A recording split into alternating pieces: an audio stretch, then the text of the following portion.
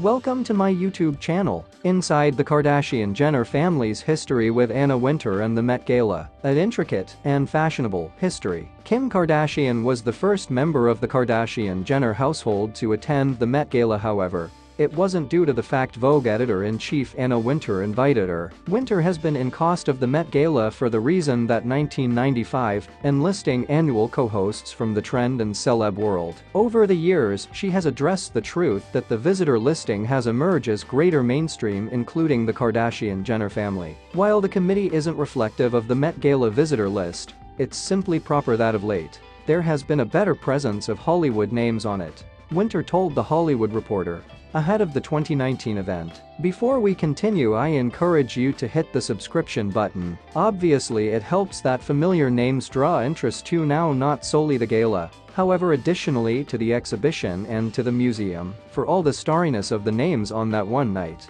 we in no way lose sight of the truth that the goal of the gala is to increase cash for the Costume Institute so we can aid its vicinity in the cultural lifestyles of New York City and beyond. Amid reviews that the editor didn't approve of actuality stars, Kim walked her first Met Gala carpet with then-husband Kanye West in 2013. I used to be Kanye's plus one so nervous. I didn't understand all people I'm positive no one desired me there, lol the selfish author admitted in 2019 whilst searching returned on her appears including the 2013 floral robe that she wore whilst pregnant with North at fashion's biggest night. Part of the pleasure of editing Vogue, one that lies in a lengthy subculture of this magazine, is being capable to function these who outline the tradition at any given moment, who stir matters up, whose presence in the world shapes the way it appears and influences the way we see it. I assume we can all agree on the reality that that position is presently being performed by way of Kim and Kanye to a T. Or possibly that must be to a K.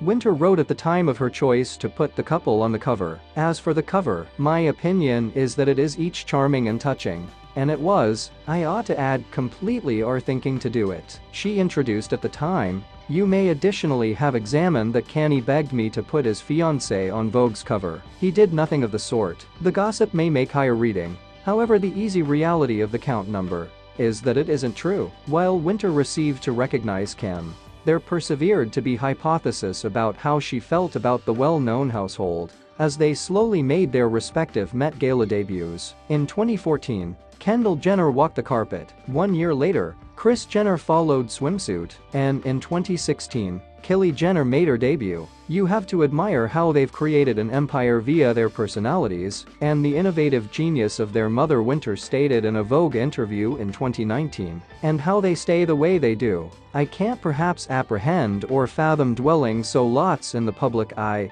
however obviously, it works. Kourtney Kardashian and Khloe Kardashian meanwhile, were noticeably missing, as they each touched down in New York City in advance of the 2022 event. However, followers started to marvel if the Total clan would eventually attend the fundraiser together. Kim hasn't been shy about believing West's impact bought her to be taken significantly in the trend world, mainly when it comes to Wintour. In 2014, information broke that she wasn't attending Kimmy's wedding ceremony, even although she was once invited. Anna had a long-standing household dedication this weekend and unluckily had to omit the wedding, a Vogue spokeswoman stated at the time. Wintour had to reply to backlash for inserting the Keeping Up with the Kardashians star on the cowl of her journal in 2014 and managed to praise and diss him at the identical time. I see the position of Vogue to replicate what's going on in the culture she instructed Fashionista in 2014. The first movie star that I put on the cowl of Vogue used to be Madonna.